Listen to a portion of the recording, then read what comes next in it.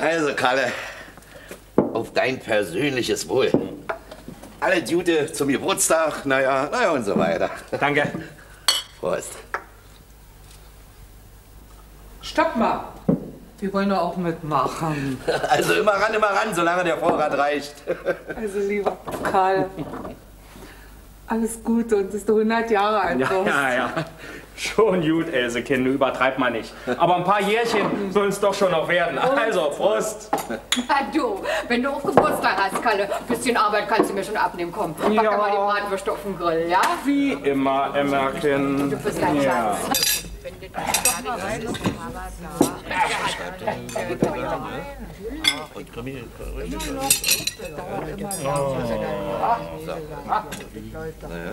läuft doch mal wieder. Ich hätte da vorher angefangen. Also. Prost. Wir erst mal Wir haben vielleicht ein Zigarre. Extra für Filme. Kommt noch einer? Ja, der Herbert. Herbert, ah? Herbert, den kennst du von unserer letzten Gartenfete. Der wollte noch vorbeischauen. Ah, der, schreibt der immer noch Krimis? Ja, aber sicher. Du, neulich, da hat er erst nach den. Würsten, dass die nie anbrennen, Karl. Vielleicht sind sie schon gut. Na, Ja, wo sind denn die Würste? Das musst du doch wissen. Du hast sie doch aufgelegt. Cäsar, hast du die Würste gefressen? Da schlag doch jeder lang hin. Schnuckerner dem Cäsar auch mal eine Frau. na, da pack doch neue rauf, ja? So. Na, noch ein Bierchen, ja? Ja klar, da sag ich doch nicht nein, ja. Trink auch noch. Aber Hunger, ja. Ach, Bier, Emma wollte Bier bringen. Ah, naja, sieht doch aus, als wenn was. Das dauert noch eine Weile. Meinst du? Oh, ja, läuft, ja? Vorsicht, ist kalt, ja? Was ist denn? Nu langt det aber, du verkorkster Schimpanse. Jetzt hat der verfluchte Köter die Bratwürste schon wieder verputzt. Der kriegt wohl bei euch nichts zu fressen. Na, na, na, na, Der na. frisst doch nicht sechs Würste hintereinander. Na. Und überhaupt, wie kommt denn der süße Kleine auf den? Der verbrennt sich ja Entschuldigt Pfoten. mal, ja? Und überhaupt, Hunde sind an der Nase so empfindlich. So, Mein lieber Kalle, Herbert, du dein Ja, Wiegenfeste. ja, ja, Herbert, du lass mal das, was du sagen willst, für einen Moment unausgesprochen. Du schreibst doch Krimis. Ja, kleiner. Ja, da bist du genau der richtige Mann und kommst zur rechten Zeit. Du, hier ist was nicht in Ordnung. Ja. Das spukt. Nee, zweimal lege ich Bratwürste auf den Rost. Und zweimal sind sie verschwunden. Naja, wir haben sie nicht gegessen. Und der Köter, so viel haben wir schon rausgekriegt, der hat so auch nicht gefressen. Herbert, nun frage ich dich. Herbert, wo sind sie?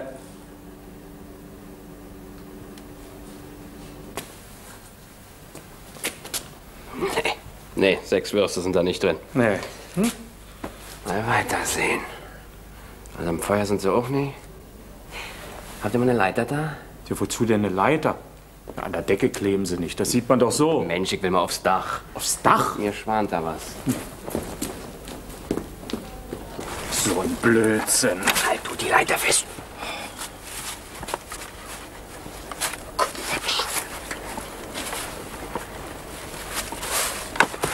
Na, sei doch vorsichtig.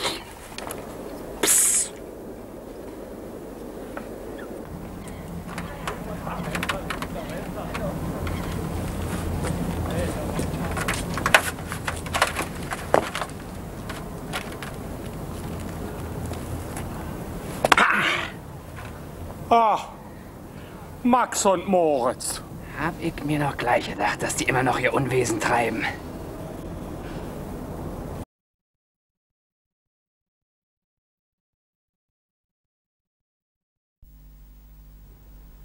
Ein Lottobüro. Eine als freundlich, aber auch als aufmerksam bekannte Sachbearbeiterin und der Lottospieler Otto Lotter, dessen Name bisher in keinerlei zwielichtigen Geschichten aufgetaucht ist.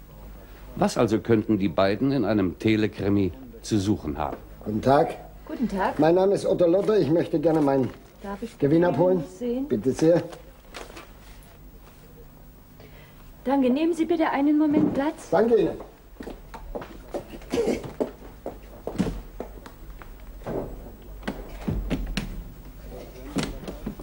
Guten Tag. Herr Lotter, Ja, guten Tag. mein Name ist Tele. Angenehm. Meine Mitarbeiterin übergab mir ein Protokoll der Annahmestelle. Sie haben äh, 20 Lose gespielt. Das klingt ja wie ein Verhör, ja. Ich habe 20 Lose gespielt, äh, aber alle ehrlich erworben und nur eins hat gewonnen.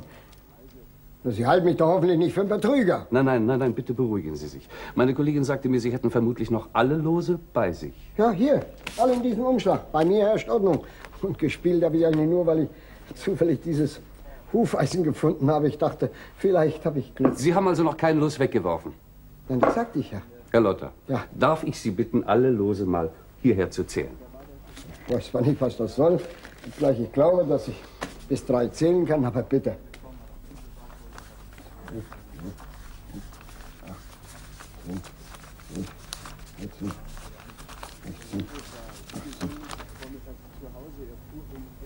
Einundzwanzig. 21. Naja, ich bin zwar Buchhalter, aber wenn man aufgeregt ist, da kann das schon mal passieren. Ich probier's noch mal. Zwei, vier, sechs, acht, neun, 21. Das gibt's nicht. Herr Lotter, Sie brauchen nicht noch mal zu zählen. Es sind 21. Aber ich habe doch nur 20 Lose gekauft, da können es ja nicht 21 sein. Doch. Und laut Protokoll kam das so. Äh, bitte, vielleicht ist es vielleicht besser, wir spielen die ganze Sache einmal durch. Dann, das wird Ihnen dann sicher helfen. Ähm, nehmen wir an, Sie wollten Ihre Lose gerade hier abgeben. Bitte schön, Herr Lotter. Moment, Moment. Also, ich kam kurz vor Ladenschluss, äh, nahm die Scheine, kreuzte sie an, bezahlte, bekam die Scheine, bekam die Scheine und das Wechselgeld wieder und äh, dann. Entschuldigen Sie, pardon, das kann natürlich. Herr Lotter, sagen Sie, ist Ihnen nicht genau das Gleiche auch an der Annahmestelle passiert? Ja, was für ein Zufall. Richtig. Sie sagten, Sie wären kurz vor Ladenschluss gekommen. Waren Sie der letzte Kunde? kann sein. Äh, Moment, ein kleines Mädchen, die wollte sich immer vordrängen, aber die hatte nur ein Los, glaube ich. Ja, eben. Ein kleines Mädchen, noch bitte, Kollegin Zeise, spielen Sie doch einmal das kleine Mädchen. Stellen Sie sich bitte hier zu Herrn Lott und stellen Sie das kleine Mädchen da. So, äh, Kollegin Zeise, es war ein kleines Mädchen. Herr Lotter, würden Sie bitte freundlicherweise jetzt noch den Rest dieser Lose aufheben? Moment, bitte. Alle gleich. So. So. Moment, Herr Lotter, was ist mit diesem los? Ja, was soll damit sein? Das ist auch ein. Nein. Das ist nicht angekreuzt. Das ist nicht mein Los. Ja, sehen Sie, dieses Los hatte ich hierher gelegt, während Sie Ihre Scheine aufgesammelt haben. Und ein solches einzelnes Los hatte die Kollegin an der Annahmestelle gerade dem Mädchen zugeschoben, das Ihnen, während sein Los die Banderole erhielt, beim Aufsammeln zusah. Dann gingen Sie, stimmt's? Das stimmt, ja. Das kleine Mädchen. Oh, bitte, Sie dürfen wieder aufstehen. Das, Kle- Dürfen ist gut. das Nie wieder Klar. Kind spielen, das macht einen ja kaputt. Ja, dann dann lassen Sie es doch, bitte. Das kleine Mädchen wartete geduldig. Nun bleiben Sie doch oben, Kollegin Zeise, Sie machen mich ja ganz nervös. Das kleine Mädchen wartete also geduldig weiter, als Sie gingen. Also, den Lottoschein dieses kleinen Mädchens hatten Sie mit eingesteckt, Herr Lotter. Dieses kleine Mädchen war aber wirklich die allerletzte Kundin. Und das Gewinnlos trägt die Nummer der letzten an diesem Tage geklebten Banderole. Deshalb wurde das Protokoll gemacht. Der Gewinner ist das kleine Mädchen. Was ist das? Gewinnlos. Gehört dem kleinen Mädchen. Jetzt begreife ich was. Bitte, nehmen Sie mich fest. Aber Herr Lotter, ich bitte Sie. Es war eben ein Irrtum, wenn auch ein trauriger für Sie. Da habe ich nur noch eine Bitte. Nehmen Sie das Ding bitte mit auf den Schrott. Nein, Herr Lotter, ich mache Ihnen einen anderen Vorschlag. Nehmen Sie es mit und verwenden Sie es als Losbeschwerer. Dann bringen Sie die Dinger ja nicht mehr so durcheinander. Und viel Glück beim nächsten Mal.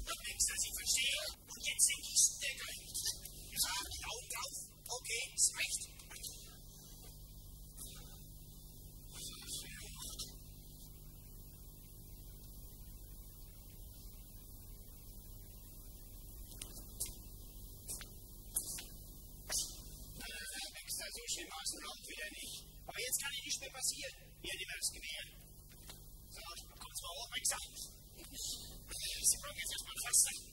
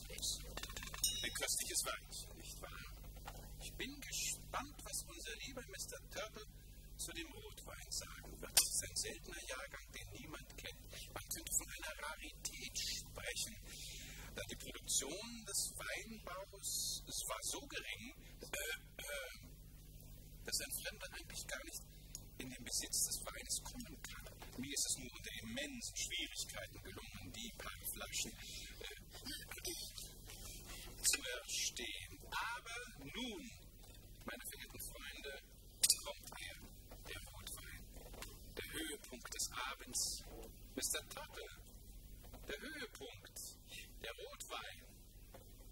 Ich werde ihn zugleich holen. Äh, holen? Da senden Sie doch den Butler aus, mein Freund. Oh nein, so einen edlen Tropfen hole ich selbst. Er steht in meinem Arbeitszimmer auf dem grünen Eikästchen mit gezogenen Korken, damit er atmen kann. Er steht 24 Stunden in bester Temperatur, völlig zugfrei. Mr. Tuggle selbst gab mir den Rat, ihn dort aufzubewahren.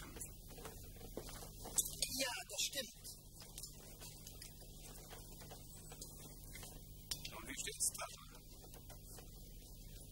Diesen Wein erraten Sie nie. Das schaffen Sie nicht. Niemals, nicht in 100 Jahren. Ein französischer Wodka. Selbstverständlich. Von einem kleinen. Vielleicht, vielleicht auch nicht. Aber er ist ein großer Lager. Dafür garantiere ich. Dann dürfte es nicht schwierig sein, ihn zu erraten. Es ist zu schwer für Sie. Aber wenn Sie unbedingt wollen, wir können wetten. Abgemacht. Eine Kiste davon wäre üblich. Oder wollen wir den Einsatz erhöhen? Hm, Tata, ich, ich möchte Sie nicht ruinieren. Das schaffen Sie nicht.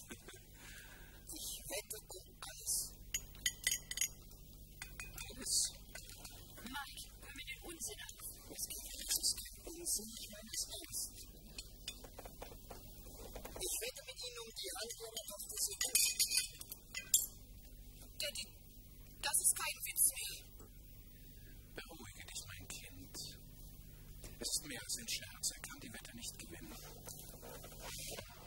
David, ich setze meine beiden Häuser gegen die Hand Ihrer Tochter Sibyl. Oh, eine ehrenhaft angebotene Wette muss man ehrenhaft annehmen. Wenn er die verliert, Sibyl, erhältst du ein beträchtliches Vermögen. Ich will kein Vermögen. Sibyl, er kann die Wette kaum gewinnen. Ich versichere, dass du nicht verlierst. Sei nicht so dumm.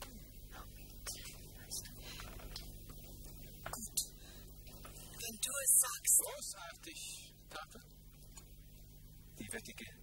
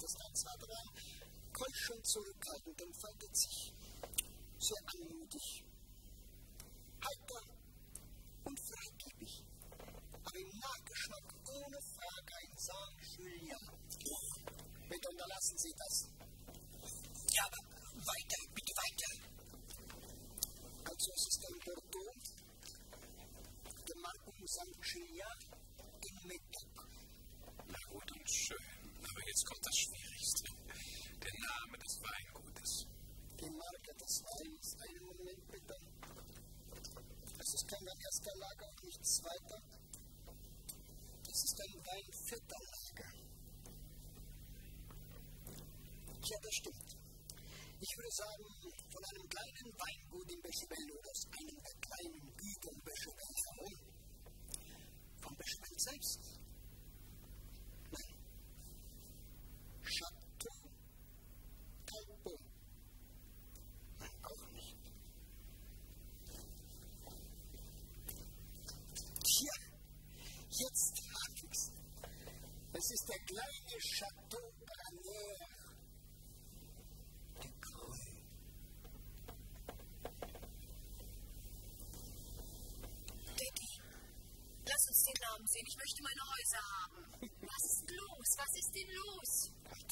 Nicht der Haus, bitte, Margaret.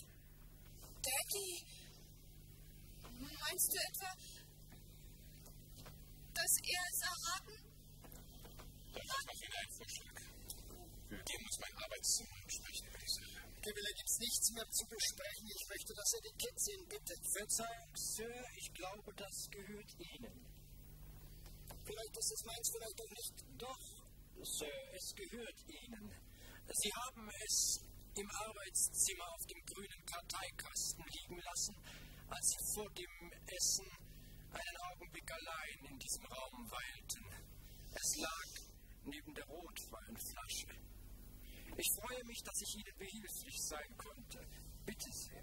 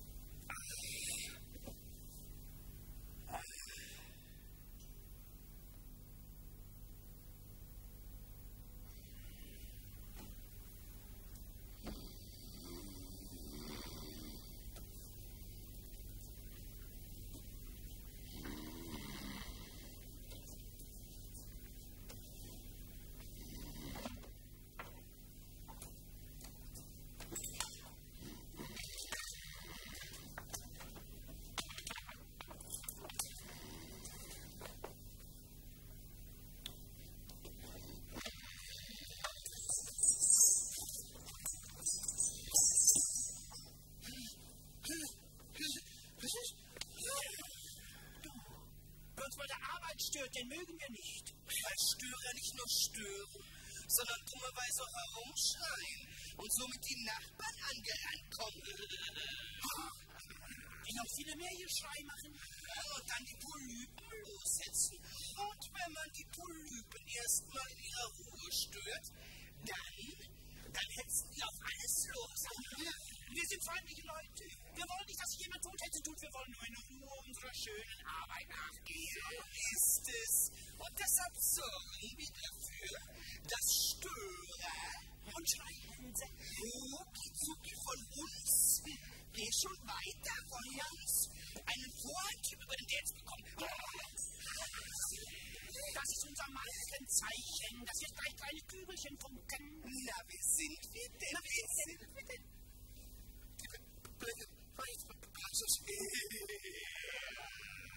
Das ist ja entsetzlich. Weißt du was, Bruder? Ich habe da so eine Idee. Mir schwebt da etwas vor. Hier? Achtung, eins. Ist ja gut, ist ja gut, ist ja gut. Eigentlich ist es jammerschade. Schau mal, so ein großer, bekannter, berühmter Künstler. Na eben. Wir sollten Gnade vor Rechte gehen lassen und ihn fesseln. Fesseln. So. Nach hinten, nach hinten. Weißt du, weißt du?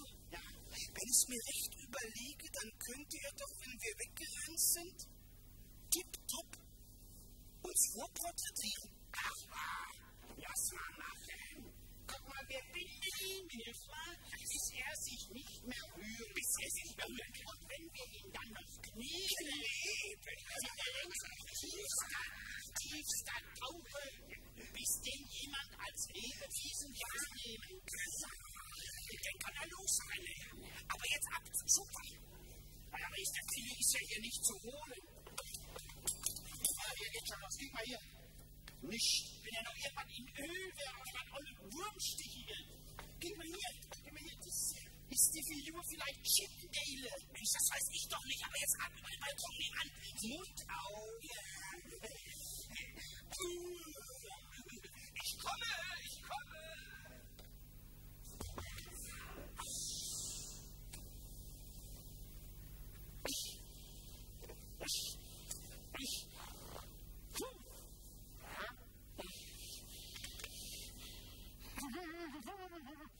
Verbinden Sie mich sofort mit der, Poliz mit der Polizei!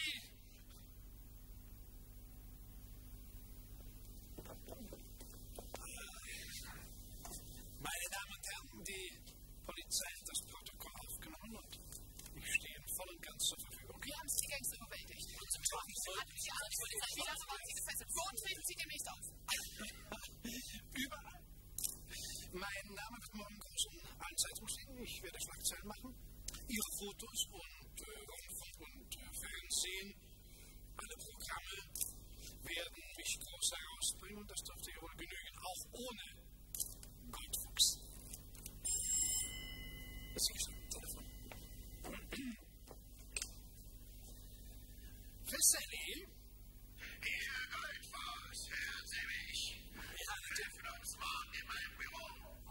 Das geht nicht, mein lieber Goldfuchs. Ich werde mich ab morgen selber managen.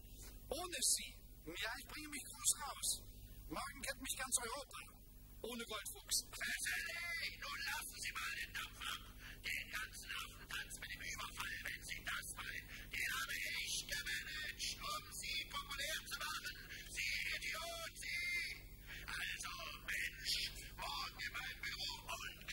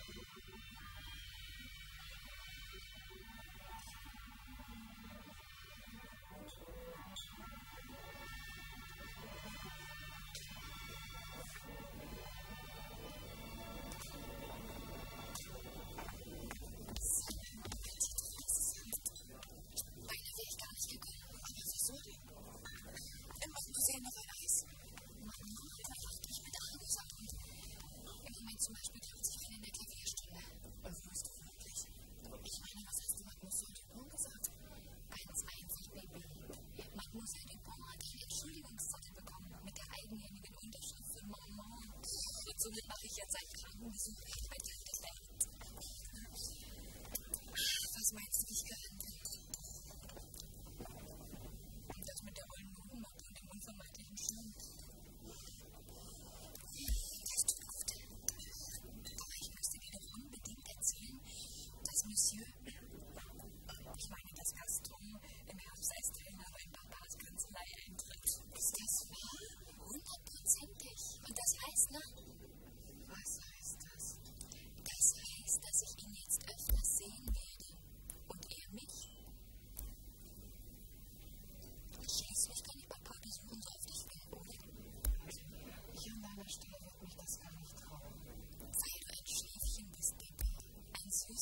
Schäfchen, das eigentlich noch als Pensionat gehört. Mensch, schon so spät. Ich muss bis das so zur Sonne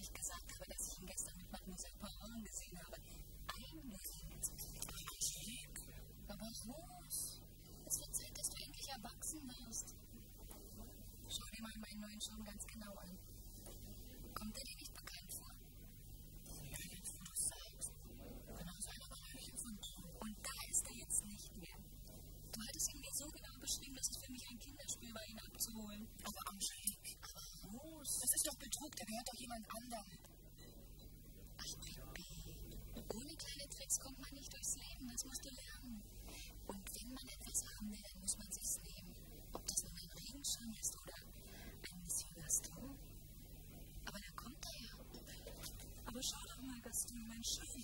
Und dabei die Schwärmen, was ich ihnen in der Methode vorbestimmt lasse.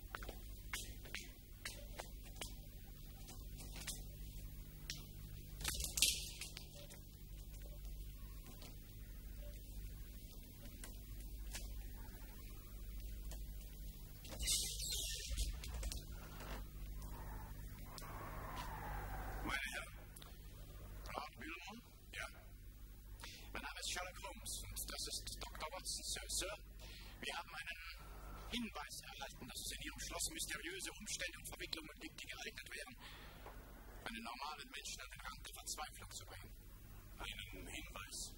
Um genau zu sein, einen anonymen Brief. Mysteriös. In unserer Familie auf Schloss Bilmore ist alles vollkommen klar. Durchschaubar klar. Das ist so seit Richard dem Dritten. Dürften wir Näheres erfahren zu kommen sehen.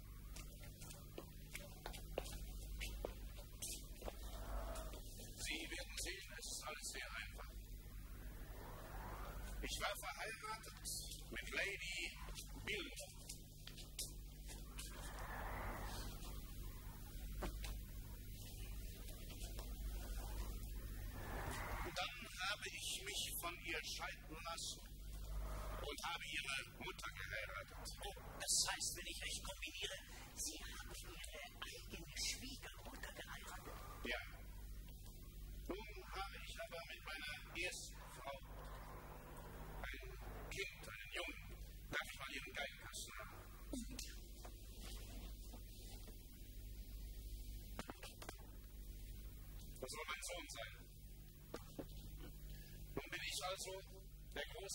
Meines Sohnes, gleichzeitig jedoch der Vater und außerdem bin ich der Vater von meiner ersten Frau.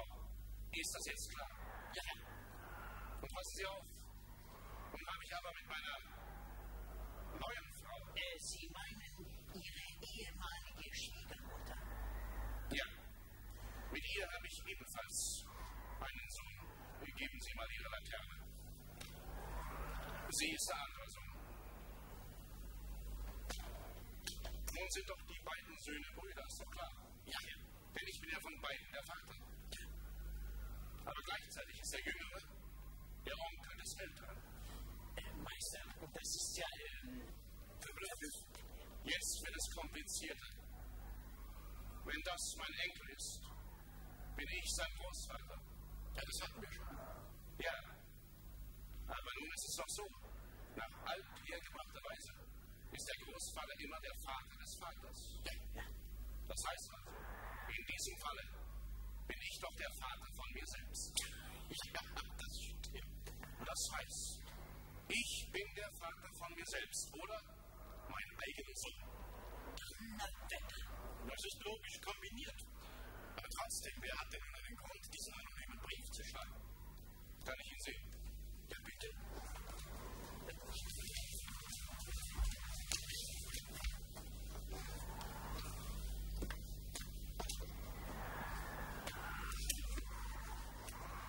Es ist nichts Geschriebenes, nur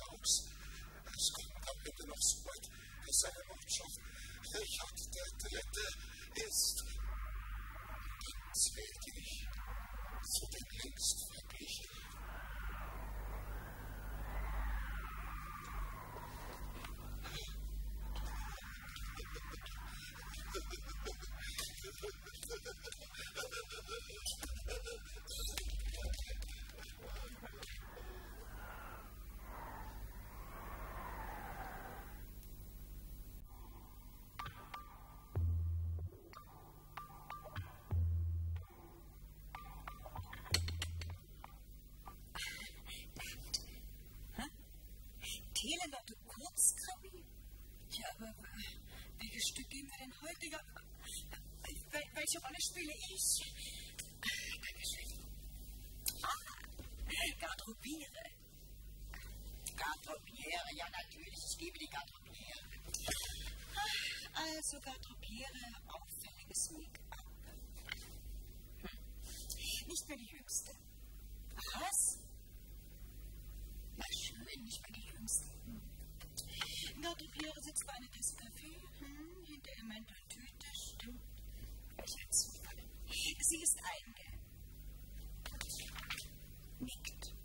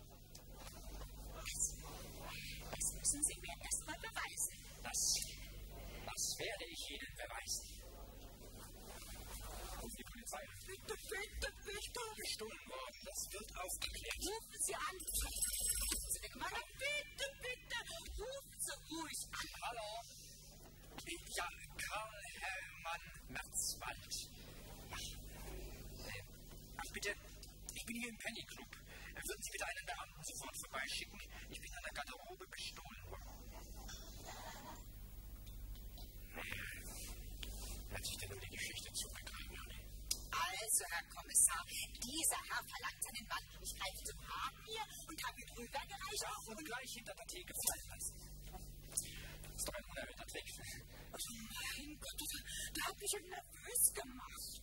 Das ist ein ganz fauler Trick. Nichts gefunden, nichts gesehen, nichts gehört. Dann bleibst dabei. Ich vergreife, wenn ich einen fremden Brieftaschen. Tja, ich habe genug Verehrer, die mich frei halten.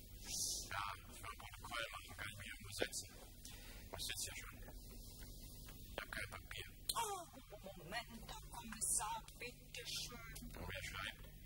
Das habe ich mir wieder in der Herr Kommissar, ich will ja nur meine Brieftasche wieder haben, weil da will ich ja gar nichts. Äh, können Sie die doch nicht mal untersuchen? Ich will das. Also jedenfalls will ich meine Brieftasche wieder haben. Wie, sehen Sie denn aus? Was haben wir gemacht? Also, wunderbar, mein Herr, dass Sie noch da sind, Ich bin ziemlich eilig, wenn ich, ich Zigaretten da war ich hier, hier, hier, das bricht doch leer, ist doch ehrlich, in 200 ist alles noch da, könnt ihr alles nachzählen. Wenn der vertauscht, kann ja mal vorkommen, nicht so, hier, hier, Mantel, Sie geben mir wieder meinen Mantel, ne, ich kann genug nachziehen, ist alles, ist alles da, ist alles in Ordnung. Der Jonas. Der Jonas eilte, um jemandem Geld wiederzugeben und um seinen alten Mantel abzuholen. Bloß staunlich aber irrt. Und jetzt hat das eilig, der Jonas. Staunlich schon wieder oder staunlich der Das stimmt, Herr Kommissar. Sie kennen diesen den Herrn Jonas. Ich, der Herr Jonas und ich. Wir sind alte Bekannte. Was machen wir denn da, Jonas? Wieso, ich will was den haben, die zu seinem Recht kommen lassen, Sie können,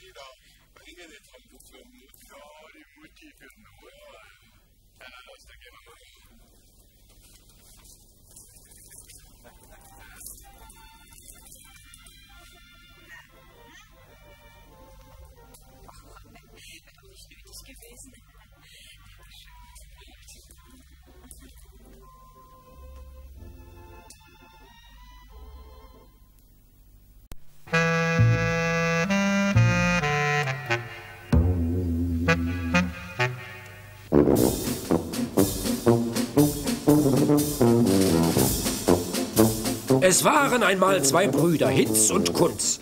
Die besaßen eine Mühle. Hinz, der Jüngere, war fleißig und arbeitete von früh bis spät.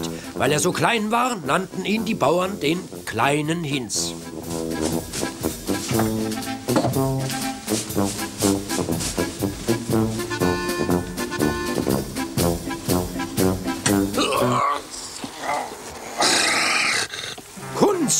Ältere, lag den ganzen Tag im Grase und sah das Korn nur in der Flasche.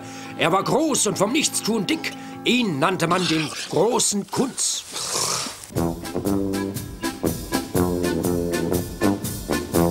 Natürlich gelangte der kleine Hinz zu Wohlstand. Die Bauern waren mit dem Mehl sehr zufrieden.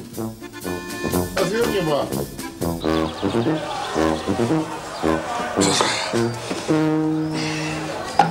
Der große Kunz ließ sein ganzes Geld in der Dorfschenke.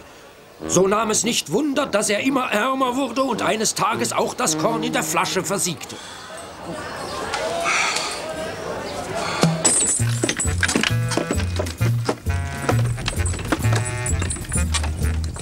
Hey, seht mal, er ist tot. Mauser tot ist er. In warum gefallen ist er? Tot gearbeitet hat er sich, der Ärmste.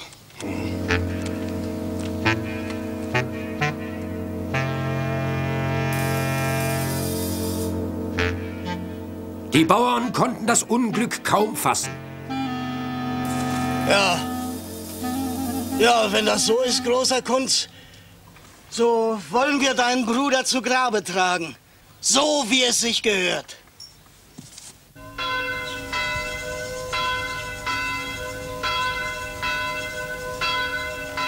Nun, lasst uns gehen.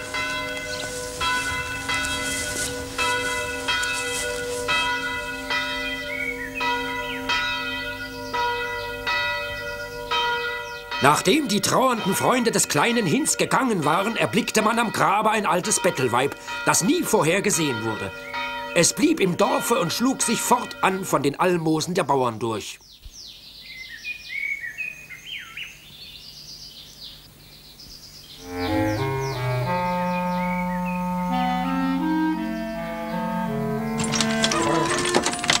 Die Bauern fuhren ihr Korn wie immer zur Mühle und wollten es gemahlen haben.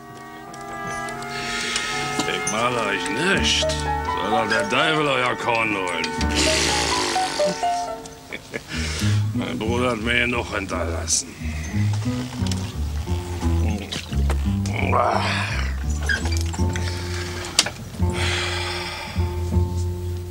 Wohin mit den Säcken ungemahlenen Korns? Die Bauern waren ratlos, während der große Kunz nur noch im Trunke lebte.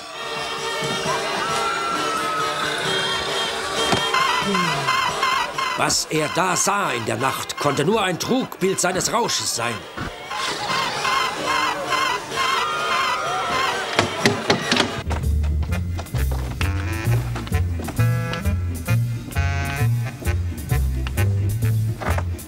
Na? Der Kunz hat wohl doch unseren Roggen gemahlen. Der Teufel!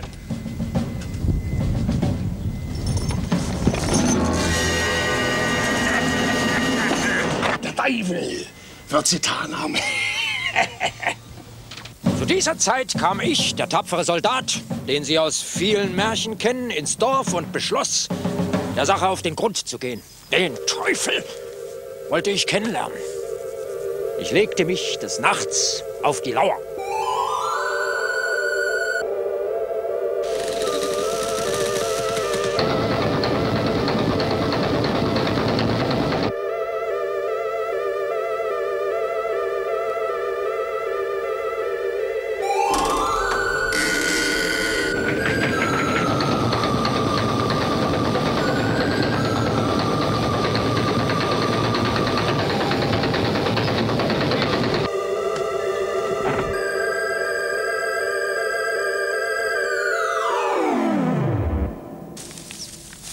Der nächsten Nacht wiederholte sich alles genauso. Als die Alte sich davon machen wollte, sprang ich hervor. Hey, Alte! Warte einen Augenblick!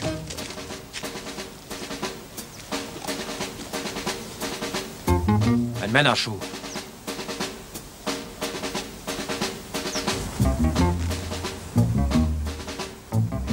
Nach der dritten Nacht hatte ich mir Verstärkung mitgebracht, den Bauern Frieder und seine Brüder. Die Alte würden wir schon zur Rede stellen. Sie kommt. Was treibt ihr hier? Ja, wir begrüßen den schönen neuen Tag. Halt!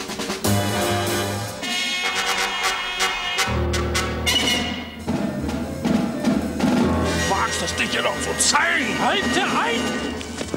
Haltet ein! Haltet! Haltet ein! Redet! Rede, kleiner Hinz. Als mein Bruder bettelarm geworden, hat er mich eines Tages so trunken gemacht, dass ich in einen tiefen Schlaf fiel. Dann hat er euch die Komödie meines Todes vorgespielt, mich fortgejagt, einen leeren Sarg beerdigt und sich so in den Besitz meines Geldes und der Mühle gebracht. Wer aber sollte euch nun das Mehl fürs Brot mahlen? So bin ich in dieser Verkleidung zurückgekommen und habe nachts heimlich in der Mühle gearbeitet. Bindet Kunz und bringt ihn in die Stadt. Dort wird er seine gerechte Strafe erhalten. Dir aber, Hinz, wird fortan die Mühle allein gehören. Und wer heute noch das Glück hat, an einer Mühle vorbeizukommen, deren Flügel sich drehen, der weiß dann, dort arbeitet der fleißige kleine Hinz.